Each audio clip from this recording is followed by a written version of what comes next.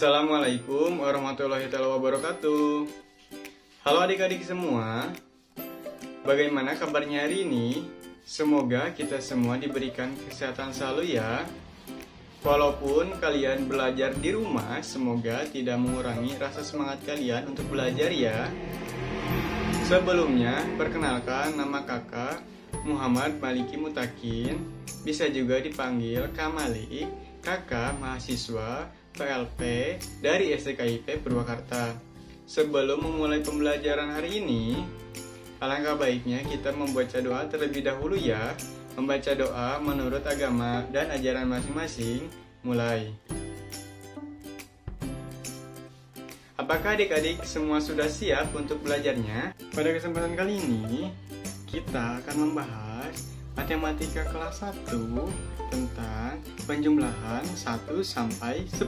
Adapun tujuan pembelajarannya yaitu yang pertama, dengan mengamati gambar siswa dapat melakukan penjumlahan dua bilangan yang hasil maksimalnya 10 dengan teknik tanpa menyimpan dan dengan bantuan benda konkret. Lalu yang kedua, membuat cerita penjumlahan dari pengalaman dalam kehidupan sehari-hari siswa dapat menyelesaikan masalah dalam kehidupan sehari-hari yang berkaitan dengan penjumlahan. Sebelum kita memulai penjumlahan 1 sampai 10, ayo kita sebutkan angka 1 sampai 10 ya. 1 2 3 4 5 6 7 delapan, sembilan, dan sepuluh. Nah, anak-anak semua, apakah kalian sudah ingat angka 1 sampai 10? Ayo kita belajar penjumlahan. Nah, coba perhatikan gambar pertama. Coba kalian perhatikan ya. Dan coba kita hitung ya sama-sama. Ada berapa jumlah anak-anaknya? Nah, dengan sama-sama ya. Satu, dua, tiga, empat, lima, enam, tujuh, delapan. Nah, jumlahnya itu ada delapan. Lalu yang, yang gambar kedua kita hitung sama-sama lagi ya. Satu, dua, tiga, empat, lima, enam. Jumlahnya ada enam buah bola kastik ya anak-anak Ya, gambar selanjutnya yaitu anak-anak yang memakai baju hijau dan memakai baju putih. Nah, jumlah anak-anak tersebut kita ingin sama-sama lagi ya. 1, 2, 3, 4, 5, 6, 7. Lalu gambar selanjutnya ada pemukul bola kastik ya. Ada semuanya hanya beberapa. Nah, Betul, ada 8. Nah, sekarang penjumlahan selanjutnya ya. Coba perhatikan gambar berikut ya. Ada satu anak memakai baju warna merah dan empat anak memakai baju berwarna biru. Berapakah jumlah semua? Semuanya kita hitung sama-sama ya. Satu, dua, tiga, empat, lima. Nah, jumlahnya Jumlah anak-anak tersebut yaitu ada lima anak.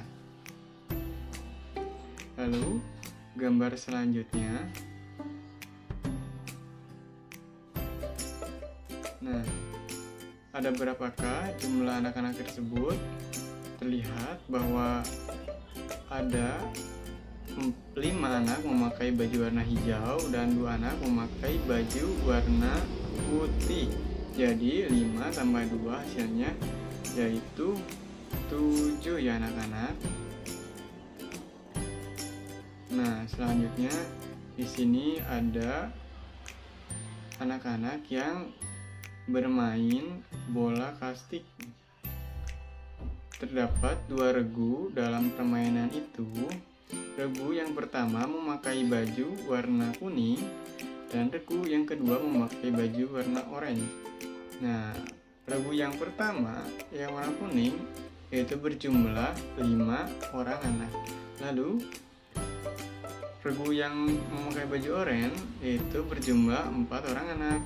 Lalu jumlahnya 5 tambah 4 itu hasilnya 9. Oke, kita lanjut ya adik-adik. Gambar selanjutnya terdapat tiga buah pemukul bola kastik dan bola kastik pada gambar tersebut. Jadi 3 ditambah 3 sama dengan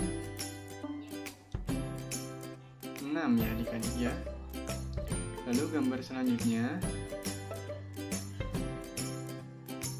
ada empat buah topi dan empat buah sarung tangan. Jadi 4 penjumlahannya 4 ditambah 4 sama dengan hasilnya 8 ya adik-adik ya Lalu gambar selanjutnya terdapat tiga bendera berwarna merah dan dua bendera berwarna putih.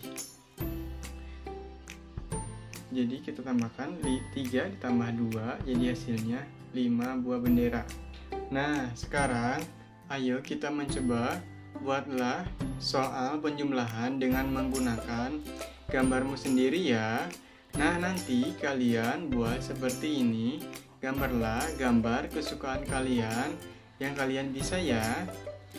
Dua jenis ya, jumlah masing-masing gambarnya berbeda, tulisan bentuk jumlahnya, dan juga amati benda-benda di sekitarmu ya.